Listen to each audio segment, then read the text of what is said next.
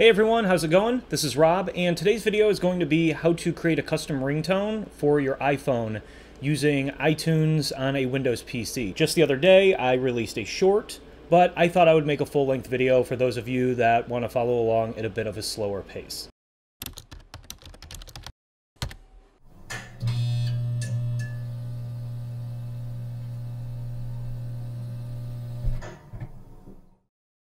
Before we begin, I know it's pretty obvious, but we do need an audio clip.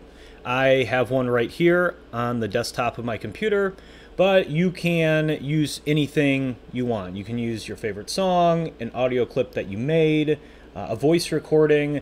Uh, you can even go to YouTube and download uh, music and convert it to an MP3 as well. But whatever the source of your audio clip is, just make sure that you're able to locate it on your computer. You're also going to need iTunes, so it does need to be installed.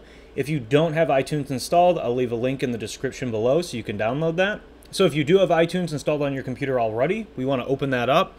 Uh, if you haven't used it in a long time, you might want to update it to the latest version. That's up to you. Once iTunes is open, you want to find that audio clip that you want to use for your ringtone. Just drag it over under music. So you want to make sure that songs is selected over here on the left-hand pane, and then go ahead and drag that clip over.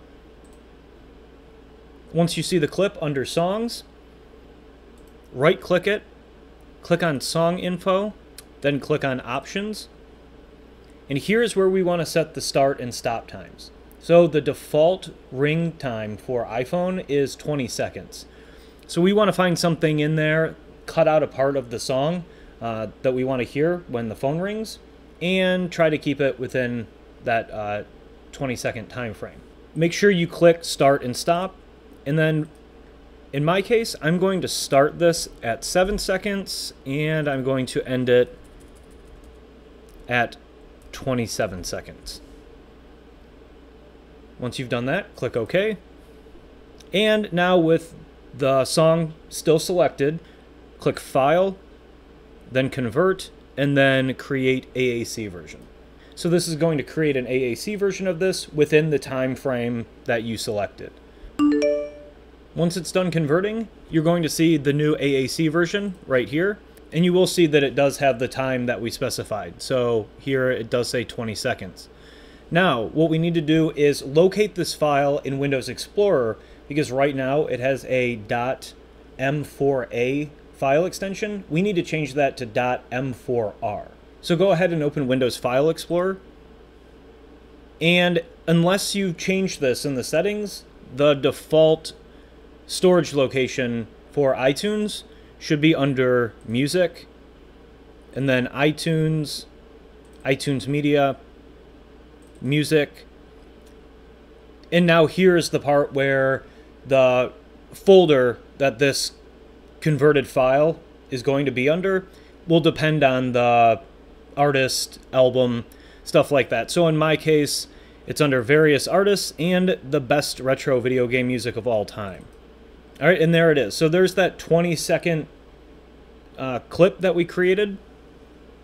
So now we have to rename it, but we can't do that right now because Windows is hiding the file extension.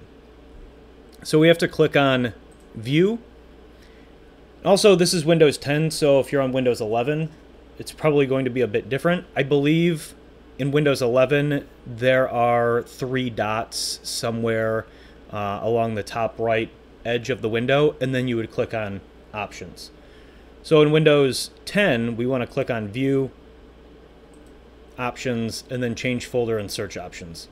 Once this window opens up, click on View, scroll down a little bit, and uh, where is it at? We want to uncheck the box where it says hide extensions for known file types. Click OK, and now we see the file extension. Click rename, and then change that A to an R. We want to confirm, and now we have the ringtone file. Uh, the last step is copying it to the iPhone, and then we'll be good. So make sure you have a lightning to USB cable handy and grab your phone.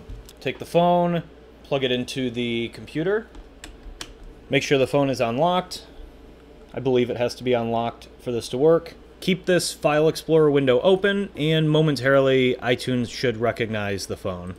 Once the phone is recognized, you're going to see it over here on the left-hand side. We see iPhone 6s Plus, and you want to select tones. So we already have one tone here, it's a Cisco IP phone. And to add the one that we just created, open up that File Explorer window again, where we rename the uh, .m4a to m4r. Take that file and just simply drag it right over. Now, I don't know what the deal is, but this happens every once in a while. It doesn't... I don't know if it's because we're waiting on uh, the sync to start, as you see at the top of the screen here. Okay, so we're obviously waiting on something. It says preparing to sync. I assume that when this is done, we're going to be able to drag that over into tones. Okay, so that's what the problem was. It was trying to synchronize. As long as it's not trying to sync the phone, uh, you should be good to go as far as copying this over. So if you see that X, uh, make sure it's not trying to synch synchronize. And if it is, just wait until it's done, and then you should be able to, at that point, take the file and drag it over into tones. And we now see that the audio clip has transferred over. So I'm going to go ahead and unplug the phone.